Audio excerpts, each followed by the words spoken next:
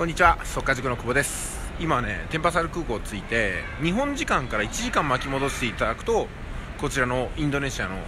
バリ島の時間になるんですよね、えー、このような形でね、まあ、日本と変わらないライブ放送ができます。まさにね世界はインターネットでつながっていて日本でやろうが広島でやろうがインドネシアでやろうが前回みたいにハワイから放送しようが全部できるんですよね、まあ、ですので明日からの速稼塾の更新情報も皆さんのところに届きますので、えー、お楽しみに今ね、あのー、こう空港で税関で入国審査なんですけどこのもうね30分ほど1時間は待たないか。もしれないけども3 4 0分待つような感じですね、まあ、どうせ待つなら並ぶよりも並ばずにブラブラして人が減ったら行こうか。なみたいなところでございますでその後パトカーの先導のもと渋滞をか。き分けながら本当に渋滞をかき分けますけどもね。かき分けながら、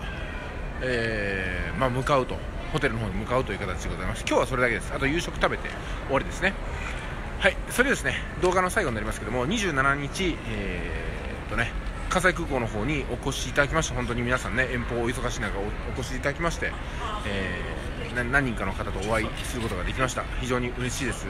えー、私が行くところ行くところどなたかが来てくださるというのはね本当にあの感激の極みですね。あ和美さんどうも先日ありがとうございました、はい、昨日ですねなんか何日も経ってるような気がしちゃいましたもん。飛行機乗って頭がポワンとしちゃいますから。はい、えー、でまたねあのナイト2000で皆さんの街に伺うことがあると思いますので今ちょっと練習しますんでもうちょっと待ってくださいね。とりあえず今日から3泊5日あインドネシアバリ島からあ金融それから経済えこういったものを中心にお送りしていこうかと思いますのでよろしくお願いします。ご覧の通りね、え一緒に同行した皆さん